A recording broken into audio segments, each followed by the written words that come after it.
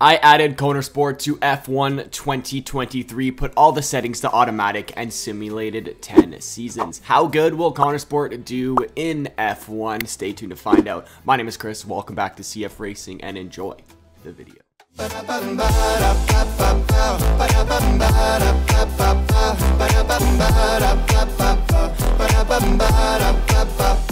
In 2023, it comes to no surprise that Max Verstappen has won the World Drivers' Championship, though he was not as dominant as he was in uh, this 2023 season, as he just won 10 races in a row uh, yesterday in Monza. Verstappen took 7 wins on the year to score 201 points to finish P1. Sergio Perez had 2 wins, 143 points to finish P2. Lewis Hamilton scored 94 points to finish P3. Charles Leclerc took 1 win, 92 points to finish P4. Fernando Alonso took 86 points to finish P5. George Russell scored 75 points and finished P6. Carlos Sainz had 71 points to finish P7. Esteban Ocon had 45 points to finish P8.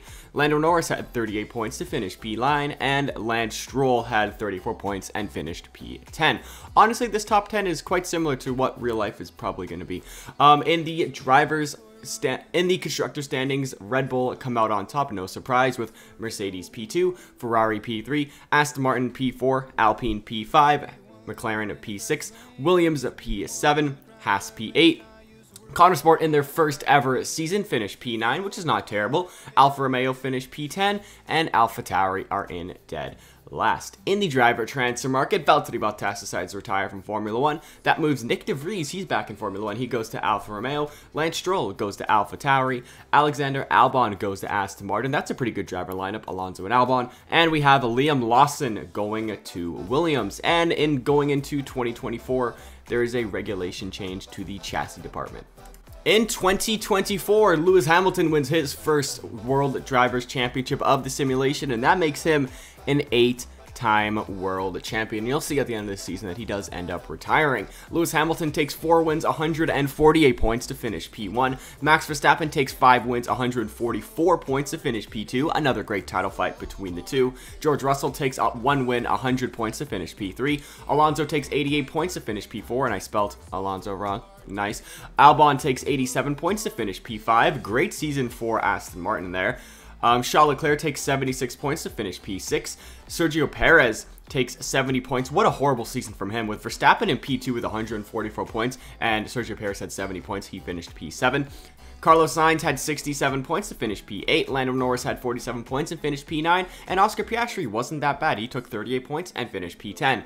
Mercedes win their first constructors title of the simulation, followed by Aston Martin in P2. Like I said before, Alonso and Albon were a are a great driver pairing. Red Bull finished P3, Ferrari P4, McLaren P5, Alpine P6. Sport moves up to P7, good for them. Haas finished P8. AlphaTauri finished P9, William finished P10, and Alfa Romeo are in dead last. In the driver transfer market, we got a lot going on this season with three retirees. We have Lewis Hamilton, obviously, as he won his eighth World Drivers' Championship. Then we have both Haas drivers of Nico Hulkenberg and Kevin Magnussen retiring from the sport.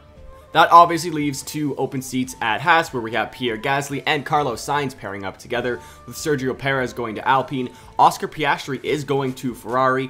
Alexander Albon goes to Red Bull. Felipe Drugovich, the Aston Martin reserve driver, finally gets his chance at Formula One in Aston Martin. Ayumu Iwasa actually goes to McLaren, and Frederik Vesti gets straight called up from F2 to go to Mercedes. We got a good youth movement this season in uh, Formula One. That's really cool. And heading into 2025, there is a regulation change to the durability departments. In 2025, George Russell has won his first ever World Drivers' Championship as he takes four wins on the year, 152 points to finish P1. And yes, these are all 10 race seasons because making it 10 races makes it super close. Alexander Albon takes two wins, 138 points to finish P2. Great season for him in the Aston Martin. No, he's in the he beat Verstappen in the the Red Bull. I didn't even notice. Max Verstappen takes three wins, 122 points to finish P3. Vesti scored 96 points to finish P4 in that Mercedes. Charles Leclerc takes 91 points to finish P5. Piastri takes one win, 85 points to finish P6. Piastri's honestly already on the level of Charles Leclerc and Lando Norris here. That's awesome. Lando, um, Fernando Alonso takes 76 points to finish P7, Ocon takes 67 to finish P8, Sergio Perez takes 59 points to finish P9, and Felipe Drugovich scores 51 points to finish P10. Red Bull win their second Constructors title of the simulation, followed by Mercedes P2, Ferrari P3, Alpine P4, Aston Martin P5, McLaren P6, Haas P7, Konnersport P8, Williams P9, AlphaTauri P10, and Alfa Romeo in dead last. In the driver transfer market, Lance Stroll goes back to Aston Martin. That moves Liam Lawson to AlphaTauri, and Felipe Drugovich goes to Williams. And heading into 2026, there is no regulation change. In 2026, Max Verstappen is back on top as he takes 6 wins, 178 points, and dominated to finish P1. Alexander Albon takes 3 wins, 150 points to finish P2. George Russell takes 112 points to finish P3. Piastri takes 1 win, 108 points to finish P4, and he beat Charles Leclerc this season. Charles Leclerc takes 86 points to finish P5. Vesti scored 82 points to finish P6. Ocon scored 67 points to finish P7. Fernando Alonso 62 points to finish P8. Sergio Perez 54 points to finish P9 and Lando Norris, 47 points to finish P10. Red Bull win their third Constructors title of the simulation, followed by Mercedes P2, Ferrari P3, Alpine P4, Aston Martin P5, McLaren P6, Konnersport move up to P7, Haas P8, Williams P9, Alfa Romeo P10, and AlphaTauri in dead last. In the driver transfer market, Fernando Alonso finally decides to retire from Formula One, and to take his spot at Aston Martin, we have Sergio Perez as he goes back to the what was Force India days. Uh, Carlos Sainz goes to Alpine, and Jack Doohan, as a rookie, goes to Haas. And going into 2027, we have a major regulation change to aero, chassis, and power, so this will probably be a little crazy grid heading into 2027. Like I said before, it was a crazy grid, and Sergio Perez has won his first ever World Drivers' Championship. It's Aston Martin completely nailed the regulation changes. Perez takes 9 wins out of 10, 224 points to finish P1. Logan Sargeant actually wins a race for Williams as he scores 167 points to get one win to finish P2. Lance Stroll scores 90 points. What a terrible season he had, by the way. Perez, his teammate, scored 224 points. Lance Stroll scores 90. Like, wow, wow, that's bad. Uh, Lance Stroll scores 90 points to finish P3. Only if Alonso stayed on for one more season, guys, he would have won the title. Ocon, 67 points to finish P4. Drugovich, 70 points to finish P5. Carlos Sainz, 67 points to finish P6. Aiden Jackson scores 60 points to finish P7. George Russell, 54 to finish 8th. Lando Norris, 47 points to finish P9. And Iwasa, 45 points to finish P10. It looks like Iwasa is now on Lando Norris's level. Aston Martin win their first ever World Constructors Championship with Williams P2, Alpine P3, and Konnersport P4. What a top four. This is probably the craziest top four I've ever had in a simulation. Mercedes finished P5, followed by McLaren P6. Red Bull dropped down to P7. AlphaTauri finished P8. Ferrari dropped down to P9, Haas P10, and Alfa Romeo in dead last. And as you can tell, the Red Bull power units and the Ferrari power units not having a very fun time. You love to see it. In the driver transfer market, Esteban Ocon goes to Red Bull, Max Verstappen goes to Alpine, Charles Leclerc goes to Williams, wow, and Logan Sargeant goes to Ferrari. And going into 2027, there is, and going into 2028, there is no regulation change. Heading into 2028, Sergio Perez is still on top of Formula One as he takes 5 wins, 148 points to finish P1. Aston Martin pretty good season for them once again. Verstappen took 3 wins, 140 points, and finished P2. Carlos Sainz takes 2 wins, 111 points to finish P3. Lance Stroll takes 96 points to finish P4. George Russell, 86 points to finish P5. Lando Norris, 80 points to finish P6. Frederik Vesti, 75 points to finish P7. Not bad. Iwasa, 74 points to finish P8. He beat Lando Norris this... No, he did not. Sorry. Um, Charles Leclerc, 66 points to finish P9, and Esteban Ocon, 59 points to finish P10. Alpine win their first ever uh, World Constructors Championship. Good for them as they finish P1. Aston Martin finished P2, followed by Mercedes P3, McLaren P4, Williams P5, Red Bull P6, Konnersport P7, Ferrari P8, AlphaTauri P9, Haas P10, and Alfa Romeo in dead last. And after and after winning two World Drivers Championships, Sergio Perez decides to go out on top as he retires. That moves Max Verstappen to Aston Martin. Charles Leclerc takes Verstappen's spot at Alpine Alpine, Frederik Vesti goes to McLaren, Iwasa goes to Mercedes, and Jüri Vips goes to Williams. And heading into 2029, there's a regulation change to the power and durability departments. In 2029, Esteban Ocon has won his first ever World Drivers Championship as he takes 4 wins on the year, 124 points to finish P1. Charles Leclerc takes 3 wins, 120 points, and he had a great title fight with Ocon, but he finishes P2. Carlos Sainz takes one win, not 100, not 12. Uh, he takes one win, 116 points to finish P3. Albon takes one win, 110 points to finish P4. Piastri takes 76 points to finish P5. Sargeant 68 points to finish P6. Gasly took 65 to finish P7. George Russell 56 to finish P8. Zhou Guanyu uh, 45 points, good season for him to finish P9. And Jack Doohan scores 43 points and finishes P10. Alpine win their second consecutive constructors title, followed by Red Bull P2 and Ferrari P3. And it looks like the two top teams pretty much are back on top. Haas finished P4, followed by Mercedes P5. What a season from Haas, by the way. Good for them. Alfa Romeo finished P6, and as you can tell, the Ferrari engine teams have a resurgence now for some reason. Then we have Alpha Tauri, uh, McLaren, Aston Martin dropped 7 spots to finish P9, Williams finished P10, and Konnersport finished dead last. And I'm not sure if you can tell on this, but the Williams, Aston Martin, McLaren, even Konnersport, all the Mercedes engine teams were terrible. In the driver transfer market, Alexander Albon retires from Formula One. That moves Pierre Gasly to Red Bull and Teo Pourchaire to Haas. And heading into 2030, there is no regulation change.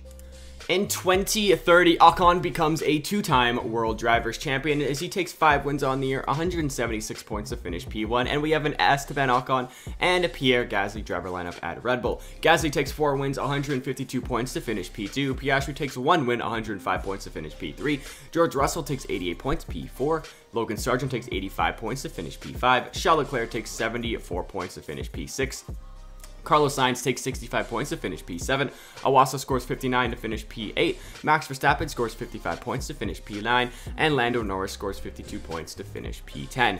In the Constructors' Championship, Red Bull come out on top for their fourth of the simulation, followed by Ferrari P2 and Mercedes P3. Alpine finished P4, followed by Aston Martin, McLaren, Konnersport, Williams, Haas P9, Alfa Romeo P10, and Alpha Tauri in dead last. In the driver transfer market, Carlos Sainz decides to retire. That moves Clement Novalak to Mercedes. Yuki Tsunoda goes to Alpine. Max Verstappen goes back to AlphaTauri where it all began. Dennis Hauger goes to Aston Martin and Iwasa ends up as a free agent. And going into 2031, there's a regulation change to Aero. In 2031, Esteban Ocon becomes a three-time World Drivers' Champion as he takes seven ones on the year, 201 points to finish P1. Pierre Gasly takes three wins, 174 points to finish P2. George Russell takes one win.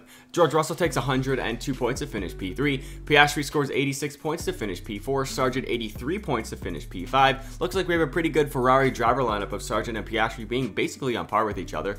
Novalak scores 80 points to finish P6. Stroll scores 65 to finish P7. Lando Norris scores 58 points to finish P8. Yuki Tsunoda scores 50 points to finish P9. And Charles Leclerc scores 48 points to finish P10. Red Bull win their fifth of the simulation, followed by Mercedes P2. Ferrari P3, Aston Martin P4, McLaren P5, Alpine P6, Williams P7, Haas P8, Konnersport P9, Alfa Romeo P10, and AlphaTauri in dead last. In the driver transfer market, Ocon and Gasly both retire from Formula One. That leaves two open seats at Red Bull, and we have Lando Norris and Jüri Vips taking those seats. Clement Novalak goes to Williams, followed by Verstappen going to McLaren. Enzo Fittipaldi goes to AlphaTauri, and Richard Verschoor goes to Mercedes for the final season. And heading into the final season of 2032, there is no regulation change. In 2032, we have Lando Norris on top of the world of Formula One as a Red Bull driver as he takes six wins on the year, 157 points to finish P1. Oscar Piastri takes two wins, 122 points to finish P2, and Logan Sargeant takes two wins, 100 points to finish P3. Jor, um, Jüri Vip, George Russell takes 87 points to finish P4, followed by Jüri Vips 64 in P5, Yuki Tsunoda's 62 in P6, Charles Leclerc's 58 in P7, Richard Richard Verschoor scores 52 to finish P8. Max Verstappen scores 50 points to finish P9. And Frederik Vesti scores 44 points to finish P10. Ferrari win their first Constructors title since 2008. Wow.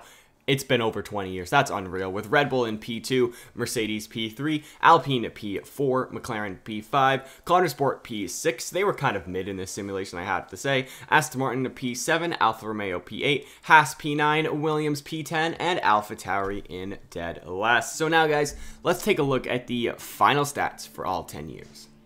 And at the end of all 10 years, this is really what happened. Red Bull won 5 Constructors titles, Alpine won 2, Mercedes, Aston Martin, and Ferrari all won 1 Constructors title, and you kind of like to see it. 5 different teams winning World Constructors Championships in 5 seasons. Speaking of 5, we have Esteban Ocon winning 3 World Drivers Championships, Verstappen had 2, Hamilton had 1, I believe not 2, Sergio Perez had 2, and Lando Norris had 1.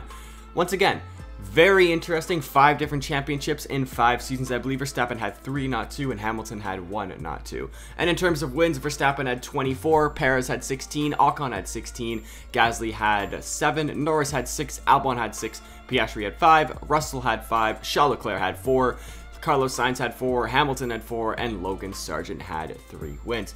If you guys did enjoy this simulation, let me know in the comment section down below, as it was kind of a mid simulation for Konnersport. I think the highest they finished was fourth in one big regulation change season, but that's about it. So they were kind of mid in Formula One. I'm probably going to be doing Andretti next, so stay tuned for that. There will be a little bit of cutscenes in that as well, as I was able to film a couple uh, championship scenes here because there were some really good title battles. If you're excited for that, stay tuned, hit the like button, subscribe, join the Discord, and uh, share this with your friends, and I'll see you guys next time.